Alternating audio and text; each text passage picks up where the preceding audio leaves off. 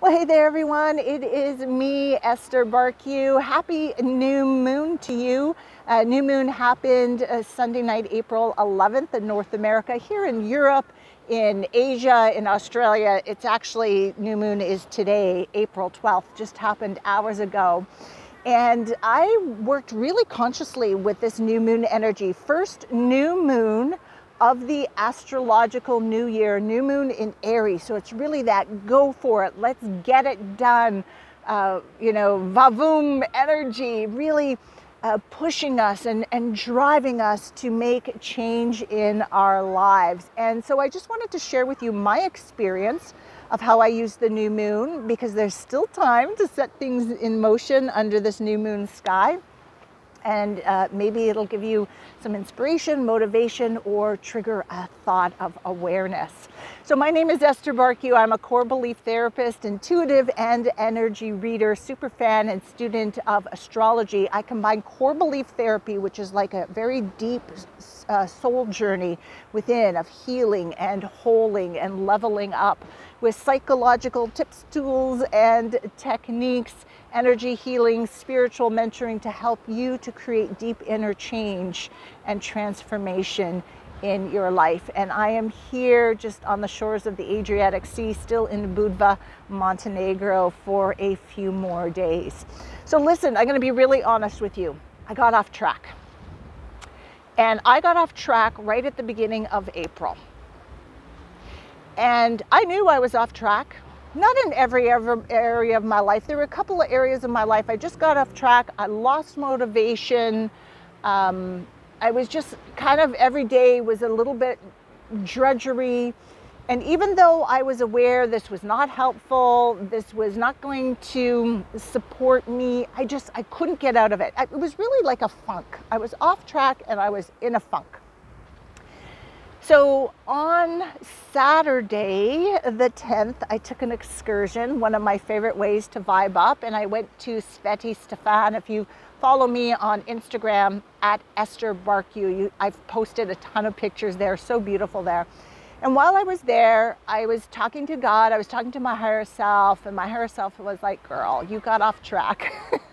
let's get you back on track and let's use the new moon energies to do it. And I said, Really great plan. Will you support me? And she said, Of course I will. So we made a plan. So that day on Saturday, what I got very clear about was where I was off track and where I want to get back on track.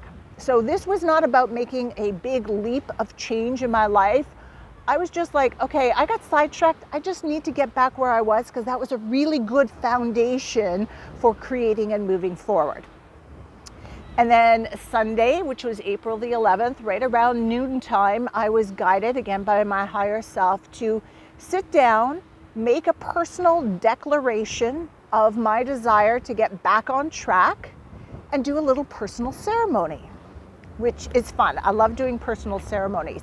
So you know when when countries do agreements, they have like a personal ceremony. Uh, maybe if you have a business and you seal a deal, you do a personal ceremony, even if it's like, let's go out to dinner and, and celebrate.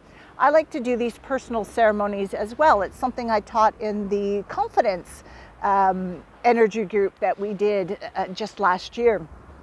And so I made my, my ceremony very simple. And I'm not a tea drinker, but I'm a coffee drinker. So I made a, a, mug of coffee exactly how I love it. I sat on my sofa. I made my declaration today on April the 11th under this new moon Aries sky with my higher self and God and universe supporting me. I am declaring that I am turning things around. I am getting back on track. And then when I'm back on track, I'm going to use that as a foundation to continue to expand and to move forward. And then I just enjoyed and sipped my coffee. And I'm going to tell you, oh my God, I had the best sleep last night. I woke up this morning, I woke up focused, motivated. I woke up with two pieces of really good news that tumbled into my, my email box. Um, I feel energized. I did such a big workout this morning because I felt energized again. And right now I thought, you know what, I'm going to go do this video because I think somebody could benefit from this. Someone needs to hear this. And I'm on the way to the supermarket just to pick up a few items. And then I have client sessions the rest of the day. We're doing those higher self sessions, which are fantastic.